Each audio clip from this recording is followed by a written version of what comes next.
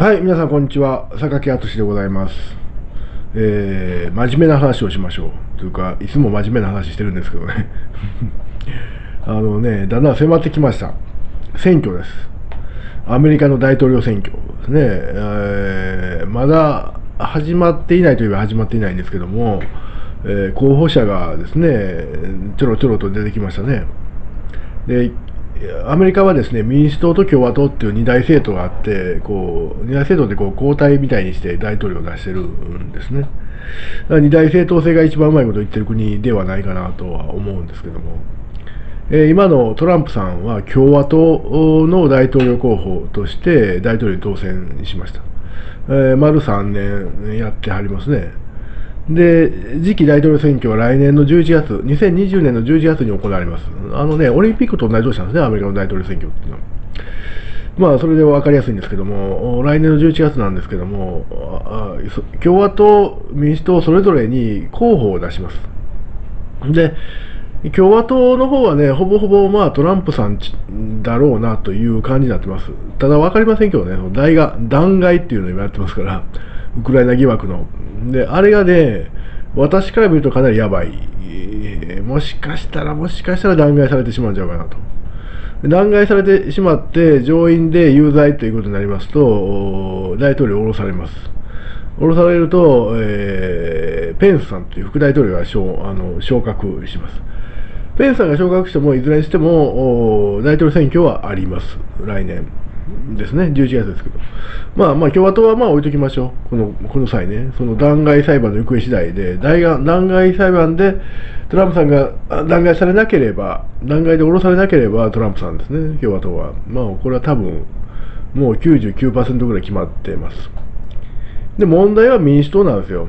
で、トランプさんと大統領選挙を争ったヒラリー・クリントンさんという女性が、え今回名乗りを上げてません。もうね、70近いお年で、前、はい、えー、ヒラリー・クリントンさんがですね、今回は候補に上がっておりませんというか、本人が、まあ、出馬をなさっていません。えー、で、この前、なんかインタビューでですね、あの100%出馬しないということではないみたいな。ことを言ってましたけども、まあ、多分出てこないでしょう。彼女はですね、あの全米の得票数ではですね、トランプさんを上回ってました。ただアメリカの大統領選挙の制度でですね、あの票州ごとにですね、選挙人を総取りシステムってなってますんで、あの票が全体的な票が上回ってても大統領には当選できないっていうことがありますね。昔あのブッシュ息子の第1期目はゴアさんという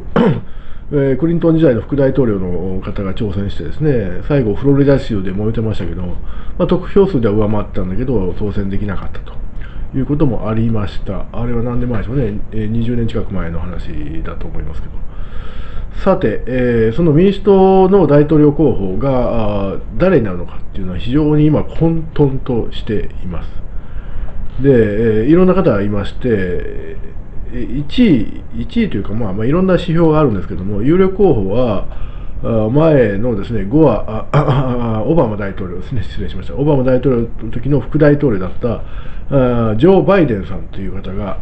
まあまあ有力候補ではあるんですけども、この方のですね、息子さんがですね、あのウクライナでなんかこう、利権をあさって悪いことしたんちゃうかということですね、こうウクライナ疑惑ってありまして、ウクライナ疑惑ではないんですけど、それをですねトランプさんがウクライナの大統領に対して、おい、ちょっと軍事援助を止めるぞって、調査せえみたいなことを言うたと。いうことで、今、揉めてますね、それがそのさっき申し上げました。あ弾劾のネタになってますけども、そのバイデンさんという方が本来、まあ、元副大統領ですから、肩書きは一番綺麗な、綺麗なというか、まあ、いいわけですね、権威があるわけですね。で、トップを走ろうかということだったんですけども、その息子さんのウクライナ疑惑というもので、やややや失速気味なんですね。で、前オバマ政権というのは、これ大変中国には優しい政権でございまして、えー、ミッシェルさんという奥さんがもう完全にこう中国に取り込まれていたという状態で、パンダハガーなんですけども、このバイデンさんも中国に取り込まれてるんですね。もうだから日本の二階さんみたいな感じで、パンダハガーなんですよ。でこの方が大統領になると多分中国が一番いいわけですね。中国にとっては一番、ですね。で、その他ね、いろんな人がいます。あの、えー、ブティ・ジェッジさんとかですね、ウォーレンさんとかね、サンダースさんとかね、ブッカーさんとかね、アンドリュー・ヤンさんとか、まあいろいろいるんですけど、あのいずれもですねあの中国にとってはようわからんという人で、えー、ウォーレンさんとかサンダースさんになりますとこれ超左派でございましてこう原則論で来るわけですね。自由と民主主義やって というふうなあノリで来られるとですね中国大変そこは弱い。ですねあのウクライナもウクライナごめんなさい。ウイグル問題がありますしチベット問題がありますし香港問題があります。あの辺の問題で自由と民主主義って言ってこられたらですね非常に困るわけなんです。その点、バイデンさんはそのオバマ時代に仲良くしてて、えー、中国とは仲良くなさったわけであって、まあ、いっぱいいっぱいこう、ね、あのいろんなことを、いろんな関係を築いてるわけですよ、中国としては。ででバイデンさん、一時ね、大統領選挙、大統領候補の選挙でですね、ちょっと中国に優しいようなことをおっしゃったんですよね。そしたらもうマスコミから非難合々を浴びまして、ちょっと修正されて、いや、俺はちゃんと中国にやっていくんやみたいなことをおっしゃってますけども、もう中身はまあまあズブズブに取り込まれてるという状態なんですね。で、あのアメリカのね、大統領選挙ってね、ようわからんところがあってね、その、今の状態でね、1位やからって、ずっと来年のね、民主党候補の決まる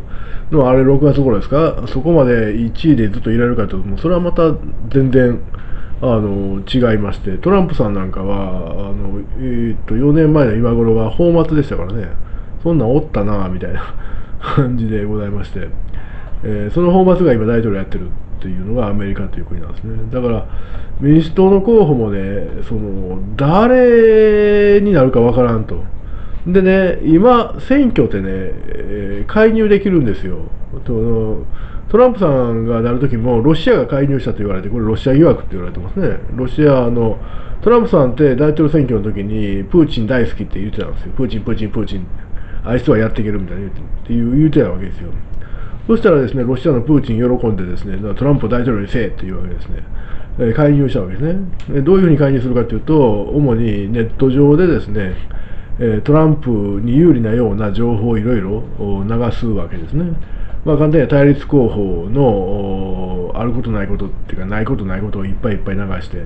でいかにもトランプが素晴らしい大統領になるかみたいなことをまたいっぱい流すわけですよ。主にあの SNS を通して、えー、Facebook とかね Twitter とかででそのインフルエンサーというようなものを自分たちで作ったりとかあるいはインフルエンサーをうまく怪獣してとかしてですね。でどんどんどんどん流していくわけであって実にあの SNS ってのは そういう点では食ったらメディアやなと私は思ってるんですけども。でそうやってまあロシアはうまくうまくうまくトランプさんを応援してトランプさんが大統領になったんですけどもなったんですけどもロシア疑惑ってバレてしまってですね。でトランプさんはもうそのロシアに対して甘いことをやるとお前はロシアに大統領にさせてもらったんからそうやってやってんやろって言われるわけですね。だからそれが嫌だからもうロシアに対してはいかにもこうこう冷たくしてるわけですよ。表面上ね。表面上。まあそれはじくじたる思いがあると思いますよトランプさんは。でもそのあんまりロシアに優しくするとお前はって言われてしまうわけですよ。結局ねロシアのね大統領選挙の介入はトランプを大統領にできたけども失敗したわけですよねそれで同様に中国もこう自分に自分たちにとってなってほしい人に大統領になってほしいわけですよで誰が大統領になったらその中国にとって一番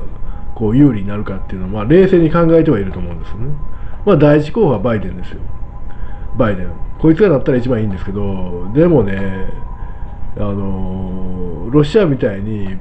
後で疑惑を持たれるとかバレるとかになると僕らもそれこそバイデンが大統領になったら中国に対して厳しくこう対応せざるを得なくなるわけだって今のトランプとロシアの関係みたいなもんですね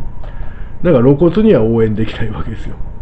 露骨には応援できないで多分ね、バイデンではないと思うんですね、民主党候補は。で、誰になるんかよ、ようわからん。誰になるかようわからん民主党候補とトランプと比べて、どっちが中国にとって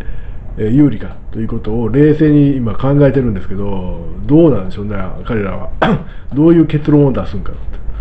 まあね、このね、アンドリュー・チャンアンドリューヤン・氏ですか、あの起業家みたいな人もいはってですね、これまだね、全然ね、放末の段階ですから、中国系とはいえ、この人が大統領になるっていうことに、え中はい、続けます。取材の方がね、10分早くお見になったんで、途中で切らざるを得なくなったんですけど。はい、あの民主党の大統領候補の誰を支援したらいいのか中国にとって誰を支援したらいいのかっていうのは非常に悩ましい非常に悩ましいところでございまして多分ねあの見つからないと思いますこいつを大統領にしたら俺らは安泰やで安保やでっていう人がね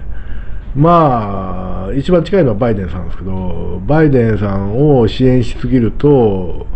バイデンさんが大統領になった時にチャイナ疑惑になってしまうわけですね。で、他の誰を支援してもですね、あの民主党って今なんか、あの左派が多くてですねあのサンダースさんとかウォーレンさんってものすごい左派なんですね。左派っていうのはどっちかっていうとあの主義主張はあの 主義主張がですねあのどう言いましょうかね。理想主義に近い。つまり自由と民主主義なんですよ。簡単に言えば。でもっと言えば社会主義なんですね、えー、社会主義によっていく えー、そういう人たちと今の中国のこの国際政策といいますか対外政策には合わない、わけなんですね。もちろん彼らのやってる、えーあれですね、あのウイグルとか香港とかチベットの政策には合わない わけでして、悩ましいなというところなんですね。で、一番いいのはね、言ってみりゃね、トランプなんですよ。トランプさんが2期目に入れば、トランプさんは取引ができる人なんですね。えー、何度か言ってますけども、要は、あの餌を与えればあの食食ってくれる人なんですよ。食らいついてくれる人なんで、簡単には金で解決できるっていうことですね。中国がいくらかアメリカに対して、アメリカがビジネス上得になるようなことをに応じますよということになれば取引ができる。トランプさんの言うところにディールですね。ができるわけですから、トランプさんになってもらうのが一番いいんじゃないのと。だから、あの、一見トランプさんって中国に対してこわもてのように見えますけども、実は中国にとって一番の大統領じゃないかな、一番いい、ベスト、ベタベ、えー、ベタですね、ベストじゃない、ベターな選択の大統領じゃないかなと、私は思っています。はい、そういうお話でございました。皆さんどうもありがとうございます。